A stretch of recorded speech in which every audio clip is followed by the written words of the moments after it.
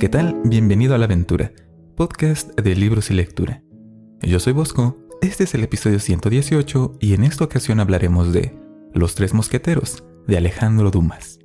Acompáñame y conozcamos juntos de qué trata este libro y qué tiene de bueno y de malo.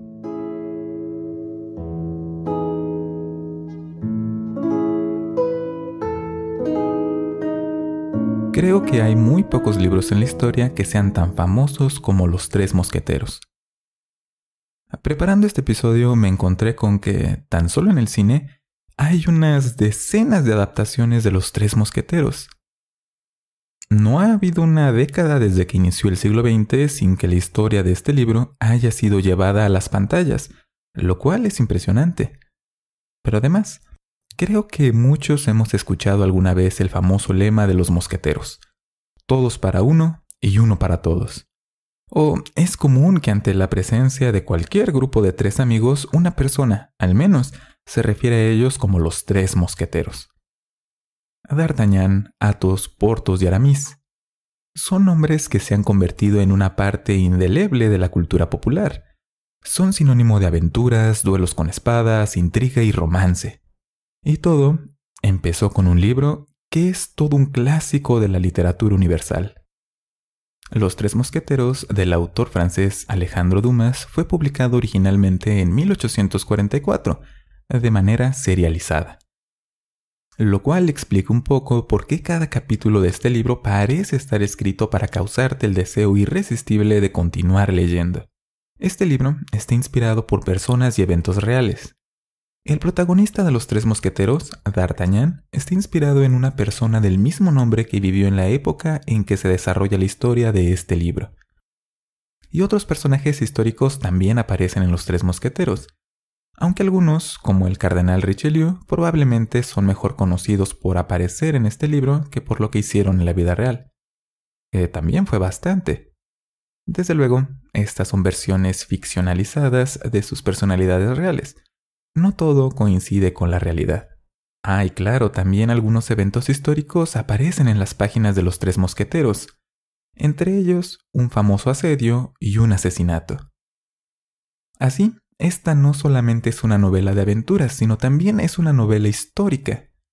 Y hago énfasis en que era una novela histórica cuando se publicó, pues hace referencia a eventos ocurridos por lo menos un siglo en el pasado de ese momento. Eventos, por cierto, que quizás eran bien conocidos por los lectores de esa época. Pero mejor hablemos de una vez de qué trata este libro, porque hay algunas cosas que decir de él. Nuestra historia se ubica en Francia del siglo XVII, época en que era rey Luis XIV, también conocido por su apodo del Rey Sol. Que dicho apodo no es por nada, Luis XIV fue el gobernante con el reinado más largo en la historia de Europa. Fueron 75 años y algunos días de duración. Y también es un personaje muy importante en la historia de los tres mosqueteros. Todo inicia en Gascuña, una provincia de Francia que se encuentra en la frontera con España. Ahí vive un joven con su familia, que esta es de origen noble, pero en el presente están más bien empobrecidos. Este joven, por supuesto, es D'Artagnan, y él tiene como sueño convertirse en un mosquetero del rey. A lo cual ayuda que es excepcionalmente bueno en el uso de la espada. Por lo tanto, el padre de D'Artagnan lo prepara para un viaje a París. Le escribe una carta dirigida al señor de Treville, un viejo amigo que conoció en la guerra y que de paso Actualmente es el capitán de los mosqueteros del rey. Así que no es poca cosa que envíe esta carta recomendando a su hijo. De este modo, armado con su espada, con quince monedas, la carta del señor de Treville y un caballo amarillo, todos regalos de su padre, nuestro protagonista empieza su aventura. Y muy pronto se encuentra con un obstáculo. D'Artagnan se detiene a descansar en una posada en la aldea de Meung, y está pensando en sus propios asuntos cuando escucha a un grupo de hombres reírse. Pone un poco más de atención en lo que están diciendo y se da cuenta que se están burlando de él, específicamente de su caballo amarillo. Nuestro protagonista, impulsivo y orgulloso, le exige al hombre que está liderando a ese grupo que detenga sus burlas. Y el hombre se niega, y procede a hacer más jocosos chistes acerca del caballo amarillo. Bueno, hay que aceptar que un caballo amarillo es algo gracioso, pero eso no impide que D'Artagnan se ofenda por esto y decida que no va a permitir que esto continúe. Así que desafía un duelo al hombre, lo cual tiene malos resultados. Antes de que pueda iniciar un duelo como Dios manda, un grupo de camaradas de este hombre le propinan una buena golpiza con sartenes, ollas y todo lo que tienen a mano en la cocina.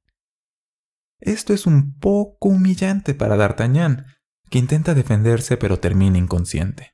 Además, en el proceso hasta le rompen su espada. Y por si esto fuera poco, este hombre, que para este momento ya se ha ganado la enemistad para siempre de D'Artagnan, aprovecha que nuestro protagonista ha perdido el conocimiento y registra sus cosas. Y se encuentra con la carta dirigida al señor de Treville y se la roba. Nuestro protagonista, muy molido, por fin recupera el sentido y alcanza a ver a través de una ventana cómo este hombre está hablando con una muy bella y rubia dama en un carruaje. D'Artagnan, dispuesto a cobrar venganza de una vez, sale disparado de su habitación dispuesto a luchar con este hombre, convencido de que no irá de un duelo en presencia de una dama. Eso sería penoso, una cosa de cobardes. Y esto es exactamente lo que ocurre. El hombre se escapa. Así que D'Artagnan, después de tener una conversación con el dueño de este hostal, finalmente llega a París, sin cartas, sin dinero y forzado a vender su caballo amarillo para poder subsistir. Lo cual no lo desanima, pues de todas maneras se empeña en visitar al señor de Treville y ofrecerle sus servicios como mosquetero, o bueno, como aprendiz de mosquetero. Aprovechamos que en este momento el autor nos cuenta un poco sobre los mosqueteros del rey. Lo más importante que nos dice es que no solamente el rey en aquella época tenía mosqueteros. El cardenal Richelieu, el representante de más alto rango de la Iglesia Católica en Francia, también tenía sus propios mosqueteros. Y el rey y el cardenal tienen una especie de competencia para demostrar quién de los dos tiene a sus órdenes a los mejores espadachines y soldados lo cual puede sonar a pasatiempo de ricos y famosos, como las carreras de jets supersónicos, las colecciones de autos deportivos y la compra de islas del Pacífico. Pero tiene sentido. Luis XIV, el rey, representaba al poder político, al Estado, mientras que el cardenal Richelieu al poder religioso, a Dios. Estos dos son los pilares de la sociedad de aquella época.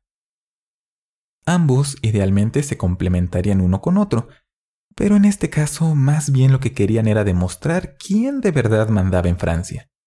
Y hay que admitirlo, poner a combatir a sus ejércitos de élite personales es una manera bastante emocionante de decidir este desacuerdo. Esto es relevante porque D'Artagnan, al llegar al cuartel de los mosqueteros del rey, con la intención de entrevistarse con el señor de Treville, claro está, se encuentra con que los mosqueteros son tipos rudos, bromistas y parranderos. Eso sí, muy hábiles con la espada y muy amistosos entre ellos, a juzgar por lo que se ve en el patio de práctica de este cuartel. Es decir, es justo el tipo de personas que disfrutarían de luchar contra otros para demostrar su lealtad al rey. Y claro, que son mejores con la espada que sus rivales.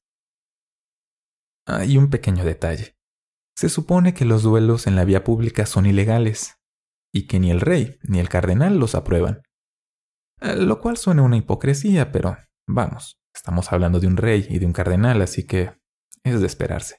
Todo esto es importante recordarlo porque cuando D'Artagnan está a punto de hablar con el señor de Treville en su despacho, éste lo recibe, pero hay un asunto urgente que debe atender. Un asunto en el que están involucrados tres de sus mosqueteros, el señor de Treville hace llamar a su presencia a Athos, Portos y Aramis, pues le ha llegado el chisme de que se batieron en duelo con los mosqueteros del cardenal. Lo cual es cierto, pero hay un poco más acerca de esta historia. Los mosqueteros del cardenal emboscaron un grupo de mosqueteros del rey, entre los que se encontraban Athos, Portos y Aramis. Y después de una encarnizada lucha, los mosqueteros del rey salieron victoriosos, aunque con algunas bajas. Además, Athos salió gravemente herido de este encuentro. Y están discutiendo esto Portos y Aramis porque Athos no se ha podido presentar debido a esta herida. Cuando se presenta, débil y con su salud peligrando, porque es su deber como mosquetero. Y no va a permitir que un espadazo que lo ha atravesado de lado a lado y que ha puesto su vida en peligro impida cumplir con él. A D'Artagnan ve todo esto y muchas cosas más mientras los mosqueteros del rey discuten con su capitán. Todo esto termina y nuestro protagonista finalmente está platicando con el señor de Treville acerca de convertirse en mosquetero. Pero mientras esto pasa, ve por la ventana, en la calle, al hombre de Meun, el que le robó su carta, y que también lo humilló, que es mucho más importante. Así que Impulsivo como ya sabemos que es D'Artagnan, sale de repente del despacho del señor de Treville y se dirige a toda prisa fuera del cuartel para encontrarse con él y vengarse. En el proceso, se enemista con Athos por chocar contra él y no pedir disculpas apropiadamente. Después hace pasar una vergüenza a Portos. Y finalmente pone en evidencia a Aramis como un don Juan. De este modo, cada uno de los mosqueteros acuerda batirse en duelo con D'Artagnan para limpiar su honor al día siguiente. Y este apenas es el primer día de nuestro protagonista en París. ¿Qué aventuras le esperan a D'Artagnan en París? ¿Cómo es que logrará ganarse la amistad de los tres mosqueteros del rey? ¿Y qué pasará con la rivalidad entre el rey y el cardenal? Esto lo descubrirás leyendo Los tres mosqueteros de Alejandro Dumas. Y ahora que sabemos de qué trata este libro, pasemos a hablar de ¿qué tiene de bueno? ¿Por qué te gustaría leerlo? En primer lugar, vas a conocer a los tres mosqueteros, a D'Artagnan y a todos los demás personajes de los que seguramente has escuchado hablar. Es un motivo un poco bobo, pero creo que es algo positivo. Si al leer un libro entiendes mejor de qué rayos está hablando todo el mundo, pues te conviertes en un participante de esa conversación en lugar de ser solamente un testigo que no sabe ni qué está pasando. Hay algo de bueno en eso, ¿no? Pero además de ese, el principal punto positivo de este libro es que es una historia repleta de aventuras. Podría parecer que lo que hemos platicado de este libro en este episodio abarca una parte no pequeña de lo que ocurre en Los Tres Mosqueteros. Es decir, que es una cantidad razonable de todas las peripecias que les pasan a nuestros personajes pero en realidad es apenas el principio de todas las aventuras de D'Artagnan y los mosqueteros. Lo que te platiqué no son ni los primeros cinco capítulos del libro. ¿Recuerdas que este libro fue publicado originalmente de forma seriada? Algo muy importante de publicar una historia de esta manera es que cada parte publicada, es decir, cada capítulo, debe ser autocontenido hasta cierto punto ser en sí mismo una historia con principio y con final. Si la periodicidad con la que se publica cada capítulo es semanal, esto quiere decir que cada semana el lector debe reiniciar su lectura, con todo lo que esto implica. No es posible contar con que el lector se va a acordar de todo lo que ha pasado en ese momento o que conservará el mismo entusiasmo que hace una semana. Así que cada capítulo debe hacerle la vida más fácil al lector. Debe hacer que se mantenga enganchado en lo que está leyendo. Este es el mismo principio que aplica para las series de televisión. En pocas palabras, esto es lo que está pasando. Y este libro logra esto de una forma excepcional. Alejandro Dumas, el autor, tenía una habilidad sobresaliente para mantener al lector a la expectativa con el deseo de conocer qué le pasará a los personajes de la historia, cómo se resolverán los conflictos y qué nuevos problemas nos serán presentados. Esto a través de dejar preguntas que desean respuesta, de ponerle metas a los protagonistas, o de establecer un conflicto que requiere de muchas cosas para resolverse. Todos estos son recursos narrativos que son bien conocidos por todo autor que se respete, pero que no todo escritor puede aprovechar con la misma maestría. Alejandro Dumas usó todos estos recursos de una forma tal que un lector común y corriente, como tú o como yo, ni cuenta se da de cómo es que está hilando la historia que nos está contando, cuidando cada detalle, pero al mismo tiempo manteniendo la sensación de espontaneidad. Esto es un placer de leer. Pero todo lo anterior probablemente no tendría ningún efecto si lo que ocurre en los tres mosqueteros no fuera, por sí mismo, emocionante. Y de eso no te preocupes. Hay duelos, persecuciones, conspiraciones en la corte, personas con identidades secretas, romance, viajes desesperados, apuestas de honor, batallas militares y muchas cosas más. Como decíamos, no hay un capítulo en el que no ocurra algo excepcional. De principio a fin, en Los Tres Mosqueteros, las aventuras no se detienen. Lo cual podría parecer agotador, pero hay momentos para que el lector tome un poco de aire y se prepare para las siguientes andanzas de D'Artagnan y sus amigos. Lo cual me lleva a otro de los puntos positivos de este libro, sus personajes. Hay algo en los personajes de los tres mosqueteros que los hace inolvidables.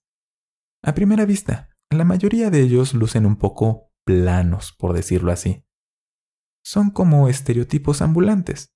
Por ejemplo, D'Artagnan es el héroe valiente, leal y talentoso, pero impulsivo y testarudo. Ahora, detente un segundo a recordar. ¿Cuántas historias conoces en las que él o la protagonista tengan estas características? Y esto va para las personas de mi generación. Piensa en los siguientes personajes. Seiya de los Caballeros del Zodíaco y Koji Kabuto de Massinger Z. Como que se parecen a la manera en la que es descrito D'Artagnan. Y claro, tenemos a Athos, que es sereno y digno, Portos, que es fanfarrón y orgulloso, y Aramis, que es sensible e introspectivo. Todo suena familiar, ¿no es así? Esto es porque son personajes arquetípicos, lo cual los hace fáciles de reconocer sin que el autor tenga la necesidad de explicarte mucho las cosas, pues de un vistazo puedes entender qué motiva a los personajes y hasta predecir un poco sus reacciones y lo que harán después. Lo cual es conveniente para nosotros los lectores, pues nos evita pasar demasiadas páginas en las que nos cuentan qué piensa este personaje, qué cree este otro personaje. No, la cosa va directo a la acción. Pero esto es solo la superficie. Conforme avanzas en la lectura de los tres mosqueteros, te das cuenta, poco a poco, que cada uno de los personajes principales de este libro tienen una complejidad mayor a la superficial. Por ejemplo, Athos tiene sus motivos para ser reservado, los cuales, te adelanto, son importantes para lo que ocurre en la historia, pues tiene una identidad secreta bastante interesante. Y además, estos motivos son moralmente ambiguos, pues implican que Athos cometió algunas cosas un poco reprobables, pero las hizo como retribución porque fue víctima de otras acciones aún peores. Esto hace que sea realmente interesante conocer la historia personal de los mosqueteros. Ah, y los villanos son igualmente memorables. El cardenal Richelieu y sus aliados son un grupo difícil de olvidar, en especial Milady, una villana como pocas han existido. Todo lo anterior, por cierto, es fácil de leer. Este es un clásico, pero no por eso es impenetrable. De hecho, es todo lo contrario. La narración es sencilla, los personajes se expresan con claridad, y salvo el uso de palabras poco comunes, como por ejemplo que la moneda más mencionada es la pistola, pues fuera de eso hay pocos obstáculos para leer a los tres mosqueteros. De hecho, Creo que es un libro tan accesible que es apropiado para lectores jóvenes, digamos, de alrededor de 10 años de edad bien adelante. Esto te debe dar una idea general de qué tan ligera y ágil es la lectura de esta obra. Y claro, si este es un libro clásico es porque habla de temas universales para todas las personas. En este caso, el honor, la amistad, el amor y por supuesto, la fraternidad. Todos estos temas son tratados de una manera tal que hoy, más de 150 años después de que fue escrito este libro, es fácil identificarnos con D'Artagnan y sus amigos. Y por último, sí, este libro pertenece al dominio público. Esto quiere decir que puedes descargarlo sin costo y de manera completamente legal desde distintos sitios de Internet. Dejaré algunos enlaces en la descripción de este episodio para que puedas obtenerlos sin ningún problema. Pero nada en la vida es perfecto, así que pasemos a hablar de qué tiene de malo este libro. ¿Por qué no te gustaría leerlo? El principal punto en contra de este libro es que es muy largo. De verdad muy largo. Es de esos libros que no debes guardar en las repisas altas de un librero, porque si te caen en la cabeza puedes darte por muerto o por muerta. Si a través de alguna de las adaptaciones de los tres mosqueteros conoces la aventura de los herretes de diamante, sí herretes, no aretes, la punta de las agujetas, cintas o cordones de tus zapatos, que suele ser de plástico en la actualidad, eso es un herrete. Bueno, pues esta aventura, como referencia, representa apenas un tercio de todo lo que pasa en los tres mosqueteros. Como dije, es un libro largo. Tenlo en cuenta porque puedes llegar a cansarte o frustrarte por no terminar de leerlo. Otro punto negativo es que, debido a lo bien conocido que es este libro y como ha inspirado a muchas personas a escribir historias de aventuras audaces con personajes osados y villanos manipuladores, Los Tres Mosqueteros puede parecer un poco predecible. A esto también contribuye estos elementos arquetípicos de los que hemos platicado. Te ayudan a ponerte al corriente con lo que pasa, pero a veces demasiado bien. Por lo tanto, algunos giros en la trama que deberían sorprenderte en realidad no lo hacen. Ten en cuenta que este libro fue escrito hace más de 100 años, lo que era fresco y novedoso entonces, hoy en día ya no lo es tanto. No lo olvides. Así que, en resumen, ¿recomendaría Los Tres Mosqueteros de Alejandro Dumas? Absolutamente. Este libro es divertido de leer. Y esto es muy, muy importante. Una de las razones más comunes para no leer que he escuchado es que los libros son aburridos. Y a veces esto es verdad. Por lo tanto, libros como Los Tres Mosqueteros, que son divertidos, emocionantes, accesibles, llenos de situaciones cautivadoras y personajes memorables, son sumamente valiosos, pues entusiasman a las personas por la lectura. Y para quienes ya disfrutamos de leer, este libro es un recordatorio de por qué leer es un placer. Lo único que necesitamos es un poco de paciencia para terminar de leerlo todo. Y esto es lo relacionado con el libro de esta semana, Los Tres Mosqueteros de Alejandro Dumas.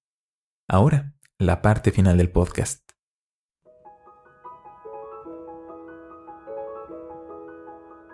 Al igual que cada semana, este podcast es traído a ti gracias a los patrones de A la Aventura. Mes a mes, los patrones, escuchas de este podcast, con sus donativos ayudan a que este podcast continúe y también a que se genere contenido adicional. Además, los patrones tienen acceso a un poco de contenido extra en la página de Patreon de la Aventura. Y esta semana, en particular, aparecerá un episodio extra gracias a sus contribuciones.